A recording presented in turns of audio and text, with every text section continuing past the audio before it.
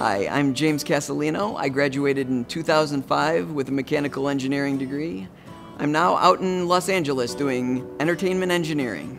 I work on concert tours and television shows, public events, if people want to entertain somebody and they need something interesting, we get the call. I currently do sales for All Access Staging and Productions. We actually, in the sales role, have an integral part in the design, kind of working with the client to develop an idea of how to do what they want to do and then working with the design and fabrication team to actually produce that. Some of my favorite projects are some of the Super Bowl halftime shows. They really push the extremes of what you can do. Being able to make giant structures that assemble themselves for a very quick setup time and then have to disassemble and get off the field immediately. Uh, it's very frustrating, but it's really rewarding, especially when I get to see something that only existed in my head, then sitting in front of me or on television. It's it's amazing. It's amazing to be able to see that thought become reality. Without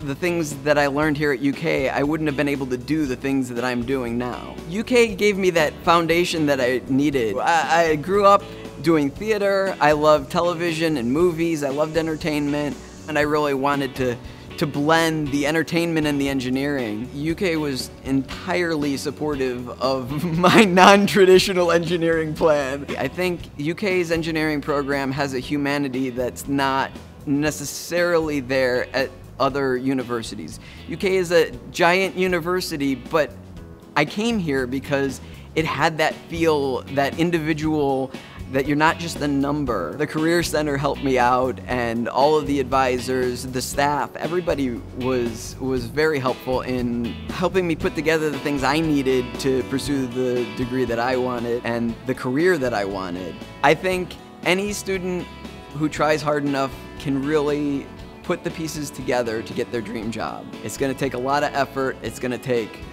a lot of falling down and getting back up, but you can have your dream job if you really want it.